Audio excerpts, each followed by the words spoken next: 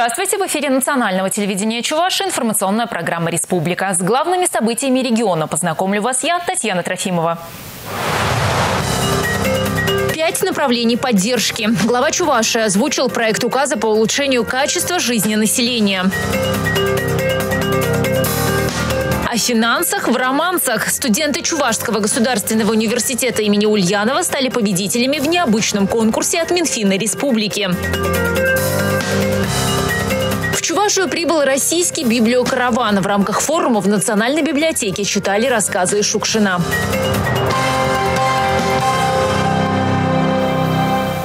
Глава республики в ближайшее время подпишет указ о дополнительных мерах по повышению качества жизни. Об этом Михаил Игнатьев объявил на еженедельном совещании в Доме правительства. В законопроекте обозначены конкретные меры поддержки образования, медицины, культуры, спорта и общественной инфраструктуры. Только в следующем году на капитальный ремонт школ, детских садов, поликлиник, спортивных объектов и водонапорных башен планируется выделить более трех миллиардов рублей. На здравоохранение мы по источникам посчитали расчетно, пока межбюджетные трансферные отношения с федерального бюджета через Министерство финансов Российской Федерации нам еще не обозначили, но расчетная цифра 1 миллиард рублей. Учреждения, соответственно, какие какие есть, должны все это посчитать. Для того, чтобы в течение пяти лет уложиться. По школам то же самое. Вот 1 миллиард рублей – это на общеобразовательные школы. И в течение пяти лет максимально все сделать для того, чтобы комфортная среда была создана. Плюс 200 миллионов рублей на следующий год – это приобретение оборудования, мебели и всех тех э, вещей, изделий для начальных классов потому что отдельные классы для начального образования у нас тоже плачевные. То есть приоритет мы ставили базовые школы, их оснастили, так, Сергей Владимирович? А начальные школы, там, где вот 4 класса обучения, мы про них ну, так подзабыли. По муниципальным образованиям расставляя приоритеты, я сказал, вот э, по годам расписать и в течение пяти лет максимально сделать условия для занятий физической культурой и спортом и школьникам, и жителям микрорайонов, которые живут рядом, то есть чтобы эти сооружения были в шаговой доступности. Также на создание современных условий в области культуры планируется направить 500 миллионов рублей и 200 миллионов на улучшение системы водоснабжения. Дополнительные финансовые средства от Минфина России на эти цели должны поступить к 2020 году. Сегодняшний дождь со снегом еще раз подтвердил, что распоряжение о подаче тепла в столице республики было своевременным. Прогноз оказался точным. На улице чуть больше нуля. В Чебоксарах тепло подано в садике, школы и почти во все больницы. Окончательно медицинские учреждения будут подключены сегодня. Так и не решен вопрос по теплоснабжению микрорайона Байконур. Мы уже говорили о том, что там управляющая компания пока не закрыла задолженность перед ресурсоснабжающими организациями. Холодными останутся батареи в семи многоквартирных домах, где еще не завершен капитальный ремонт. Сейчас в столице подключены к теплу 57% домов. Администрация уверяет, что завтра вопрос будет закрыт полностью. В Новочебоксарске распоряжение было подписано в субботу, но тепло начало поступать только сегодня. В остальных муниципалитетах отопительный сезон еще не начат. Отдельные муниципальные образования даже распоряжение о подаче тепла не подписали.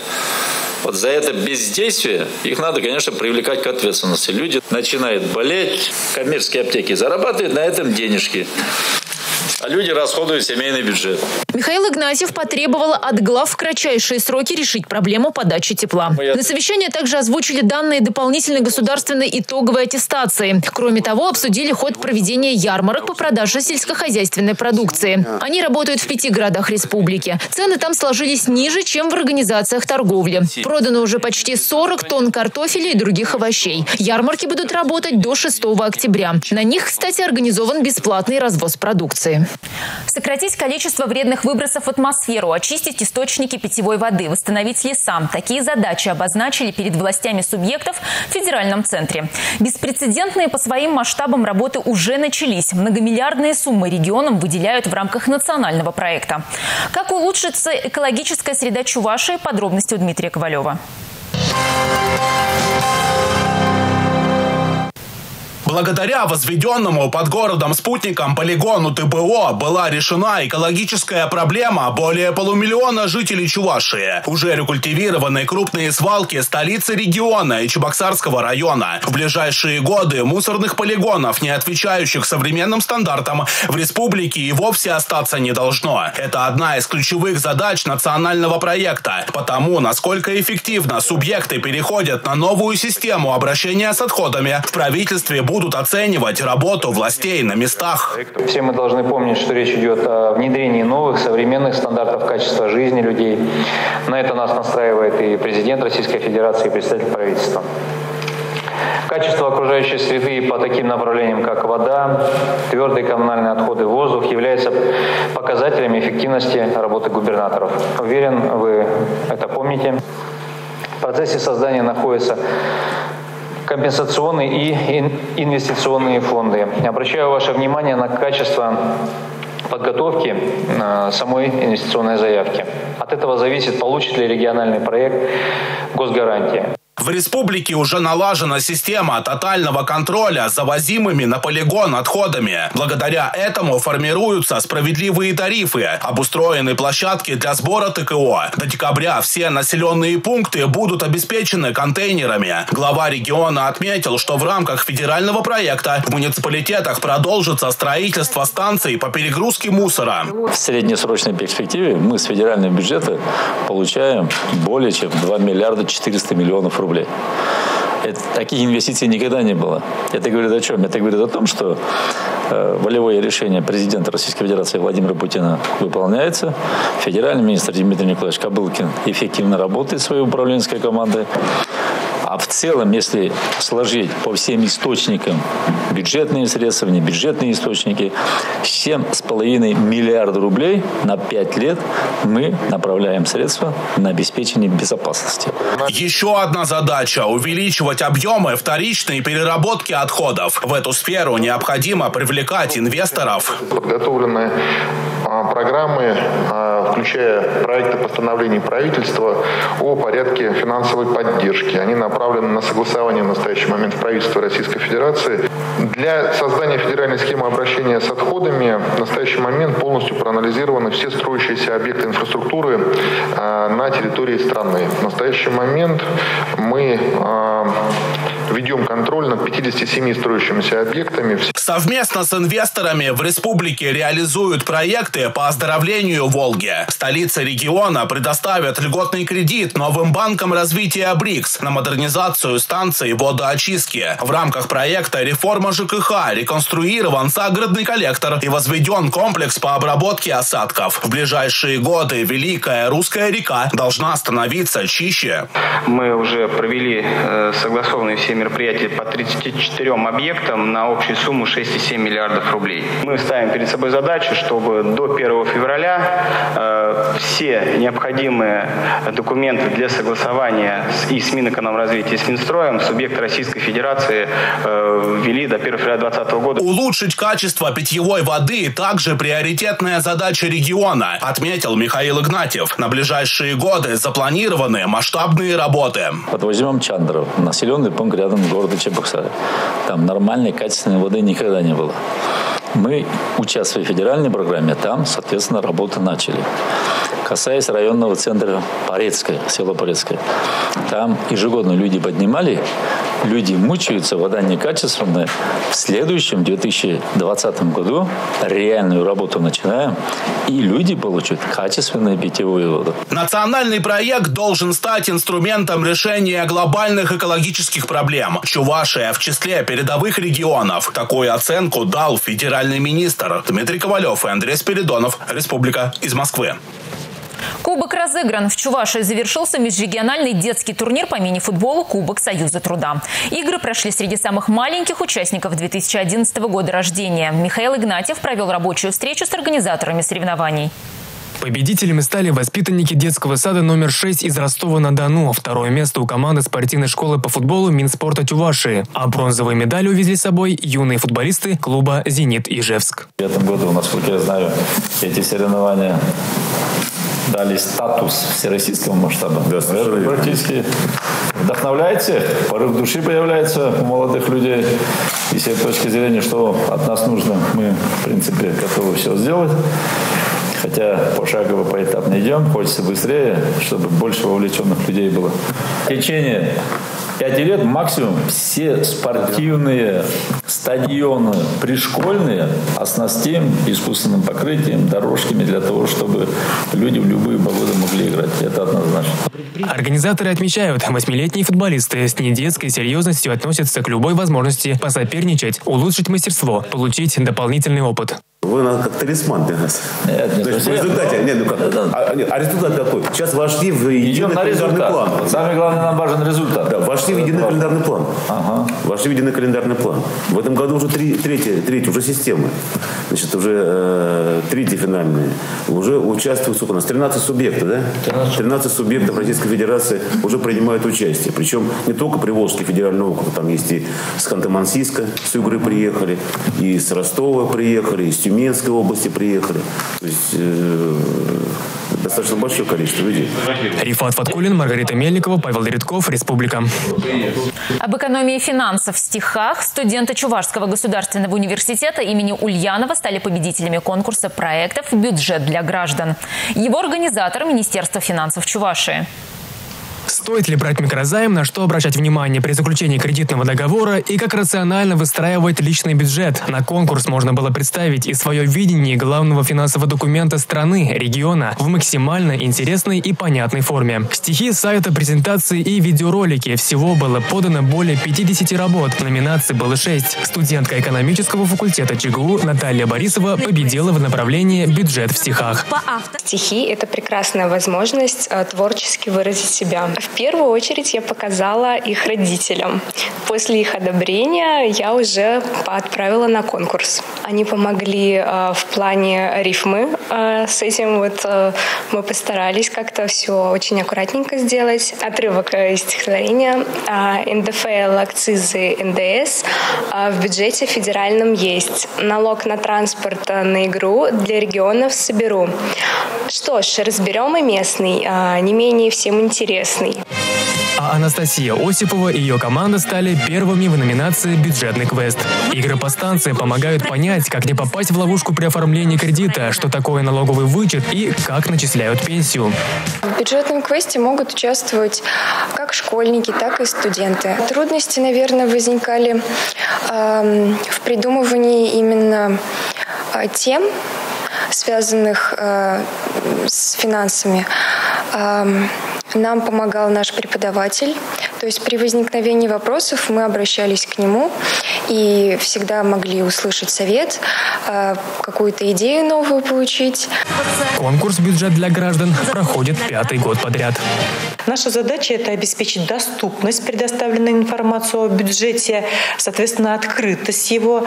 По данным открытости мы среди субъектов и Российской Федерации, и Приволжского федерального округа являемся одним из лучших. Здесь в большей части, конечно, активность проявляет молодежь. Нас это очень э, радует, и, соответственно, из года в год э, мы проводим такую интересную, так скажем, тему заявляем, э, несколько и стимулируем участников нашего конкурса. Рифат Фаткулин, Маргарита Мельникова, Борис Андреев, Республика. Российский библиокараван прибыл в республику, а это значит, что несколько дней в столице Чувашии и других муниципалитетах будет идти речь о дальнейшем развитии библиотечного дела, о новациях в этой сфере. Вместе со специалистами в этом важном разговоре будут участвовать и читатели, и писатели, и артисты. Сегодня в Национальной библиотеке рассказы Василия Шукшина читал известный актер театра и кино Владимир Борисов. Иван не любил тестя. На ум жалеючи дочь, терпел Ивана. «Спишь?» – живо заговорил Наум. «Эх, это раньше можно все царство небесное проспать. Здравствуйте!» Я туда не сильно хотел. Не устремляюсь. «Зря! Давай-ка поедем, съездим за дровишками. Я у бригадира выпросил две подводы. Конечно, не за здорово живешь, но черт с ним, дров надо. Владимир Борисов – наш земляк. Его малая родина – Марпасадский район. К рассказам Шукшина его привело какое-то внутреннее чувство, воспоминания детства. С этим очень много связано и в большой степени вообще мое обращение к Шукшину вот таким вот образом связано именно с отцом. Почему? Потому что когда я прочитал э, первые еще, ну для себя первые рассказы Шукшина, которые печатались в журналах, все персонажи Шукшина заговорили вот голосами моих родных. Во всяком случае, тех людей, которых я видел здесь, в деревне. Бывая на родине знаменитого актера, сценариста и писателя, Владимир не раз слышал от односельчан, что в его голосе многие слышат интонации самого Шукшина. Вообще, к русскому языку у нашего земляка особое отношение. Он сожалеет, что из него уходит интонация, особая мелодия. Это обращение, опять-таки, к менталитету к нашему, понимаете, который тоже все это очень-очень связано. Ведь Лихачев еще говорил, по-моему, что если пропадет язык, пропадет нация. Мне хочется, чтобы вот это шукшинский язык, шукшинская интонация, шукшинская мелодика, она как-то ну, прежде всего, прежде всего, чтобы она как-то вошла, я не знаю, была услышана молодыми хотя бы ребятами. Оцениваешь по тишине, которая стоит вот, ну, на спектакле. «Волки», «Суд», «Как помирал старик». Всего прозвучали пять рассказов. Среди почитателей таланта Василия Шукшина и люди в возрасте, и молодежь. Это особое имя в русской литературе, и его мир – это особый мир, это мир чудиков, мир необычных героев, которые в то же время очень обаятельны, и они очень совестливы. Язык Шукшина, казалось бы, очень простой. Мы все так говорим, и Шукшин просто просто фиксируют эту речь, но на самом деле это такая очень серьезная виртуозная работа. Мы надеемся, что после этого мероприятия интерес к его творчеству усилится и будут брать еще больше его книги в нашем центре чтения. Современная чувашская литература «Связь поколений». В Национальной библиотеке известные писатели Чувашии встретились с начинающими авторами. Союз профессиональных писателей республики собрал молодых коллег. Аксакалы делились опытом, начинающие писатели своим видением литературы на родном языке. На мастер-классах объясняли, как строить сюжет прозы, на что обращать внимание при создании стихотворения, как правильно оформлять драматическое произведение. Отдельные произведения молодых авторов получили экспертную оценку. В ходе обучающего семинара молодежь приобрела себе наставников. В свою очередь, состоявшиеся писатели отметили оригинальность и профессионализм начинающих.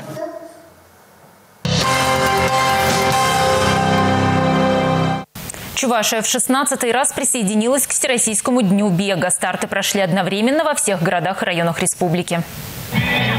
Центральный старт был дан на Певческом поле Чебоксарского залива. Хочется пожелать вам сегодня положительных эмоций, позитива и неиссякаемой энергии. Но кто готовился, тот, конечно, станет победителем. С праздником вас! Успехов и удачи! С каждым годом забег становится все более массовым. Для большинства горожан кросс нации стал семейным праздником и доброй традицией. Мы уже третий. не первый год, третий год точно участвуем. В том году мы немножко в меньшем составе выступали. Тогда еще по возрасту не подходили. А в этом году почти всей семьей вышли. Любые соревнования помогают закалить силу воли. Максим Фадеев не привык сдаваться на полпути считаю, что это э, было очень сложно, потому что у меня дыхалка чуть ли не подводила, я еще упал в начале. Ну, а так было все интересно, участвовать в кросс-нациях. Надо тренироваться, чтобы было все хорошо. Я сейчас буду лучше заниматься по физкультуре, чтобы в следующем году прибежать побыстрее. Кросс-наций объединяет профессиональных спортсменов и любителей. У каждого настроение на финише намного лучше, чем было на старте. В этом я убедился. Это очевидные вещи. Потому что кровообращение улучшается, настроение тоже улучшается. И когда команда они бегут, соответственно, и команда кабинета министров, команда э, управленческая разных организаций, и это важно, это сплачивает людей, вырабатывается характер. В здоровом теле здоровый дух. Массовый забег в очередной раз доказал, что Чувашия за здоровый образ жизни. Спортивный праздник – это всегда положительные эмоции, искренний смех, удивление и восторг. В семье Немцовых уже растет будущий чемпион, хотя пока ему всего лишь два с половиной года. Каждый год стараемся выступать на различных соревнованиях. Э, бегаем, не только бегаем, но только и на лыжах, и на велосипедах катаемся, всей, всей семьей, с детьми бегаем. И вам того же советуем. Это здоровье главное, развитие спорта в регионе. Очень здорово. Присоединяйтесь. Глеб у нас э, э, в этом году на лыжне России бегал первый год. Сейчас вот э, Глеб сейчас побежал первый раз в этом году.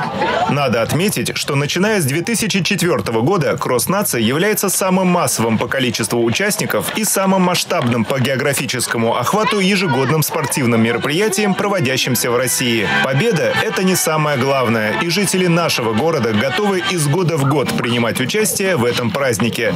Маргарита Мельникова, Александр Иванов, Павел Иритков. Республика. Таким выдался первый рабочий день этой недели. Увидимся завтра в это же время на национальном телевидении Чуваши.